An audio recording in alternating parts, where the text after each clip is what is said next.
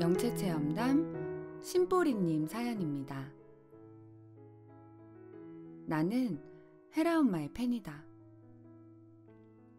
세종, 서울, 부산 마음쇼를 부지런히 따라다녔고, 지난 6월 헤라 엄마의 사랑 세션을 받은 날, 나는 엄마의 아픈 다리를 치유해달라고 말씀드렸는데, 헤라 엄마는 나에게 호를 여러 번 반복해 주시면서 엄마와 나를 묶어 주셨다고 하셨다.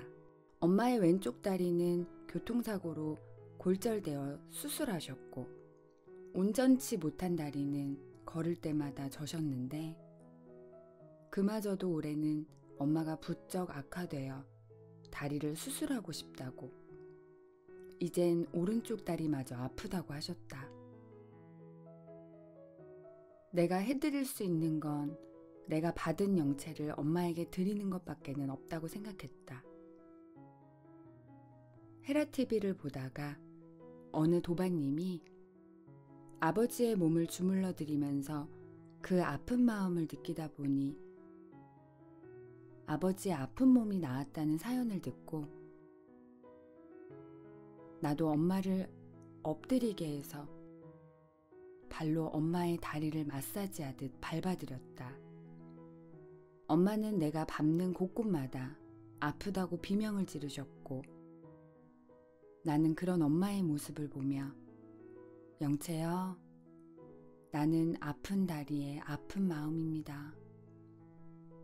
부디 이 아픈 다리를 영채에게 모두 의탁하오니 엄마의 아픈 다리를 치유해 주소서. 라고 기도를 하면서 정성껏 밟고 또 손으로 주물러 드렸다. 그런 순간순간들마다 엄마는 몰랐겠지만 나는 눈물이 났다.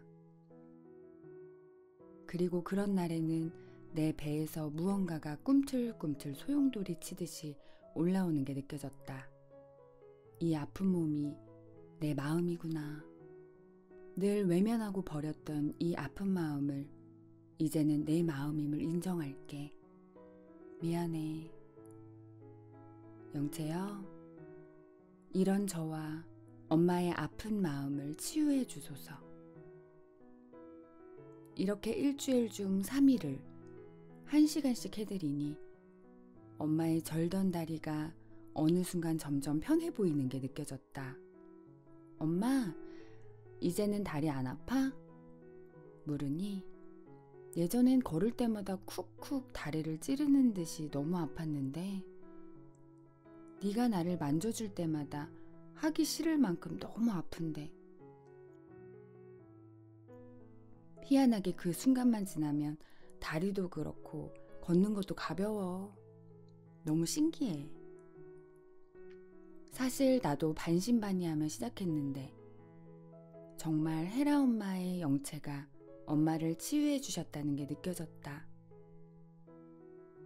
왜냐면 예전에도 엄마의 다리를 주물러 드린 적이 있었는데 한 번도 이런 경험을 해보지 못했기 때문이다. 그래서 영체를 잘 모르시는 엄마에게 나는 한 번 더 얘기 드렸다. 엄마, 내가 밟을 때마다 아프면 그냥 그 아픔을 더 느껴봐. 나는 마음으로 기도할게. 지금도 나는 엄마에게 내가 받은 헤라 엄마의 영체를 계속 드린다는 마음으로 주물러 드리고 있다. 그래서 그런지 이제 엄마는 계단 오르기를 시작하셨다.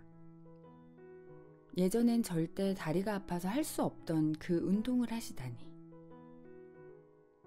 나는 왠지 엄마의 아픈 다리가 정상인의 다리로 치유될 것 같은 예감이 든다. 왜냐면 헤라님이 엄마는 괜찮아질 거라고 하셨기 때문이다. 헤라 엄마, 저는요, 엄마 만나서 너무 행복해요. 마음 인정할 때마다 너무 아파서 힘들지만 제 삶에 헤라 엄마가 없었다면 제가 제대로 살 수 있었을까요? 저는 엄마의 아픈 다리 외에도 제 주변의 모든 환경과 사람들이 다 달라졌어요. 이런 선물 같은 기적을 주신 건 헤라 엄마의 영차라는 걸 알고 있습니다. 사랑합니다. 저도 목숨 바쳐 지켜드리고 싶어요. 엄마가 가시는 길, 그 길을 따라갈 거예요.